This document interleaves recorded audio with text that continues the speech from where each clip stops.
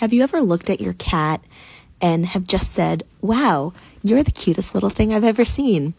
And then you look at your cat's face and you know they can't speak your language, but if they did, you know they would say, I know.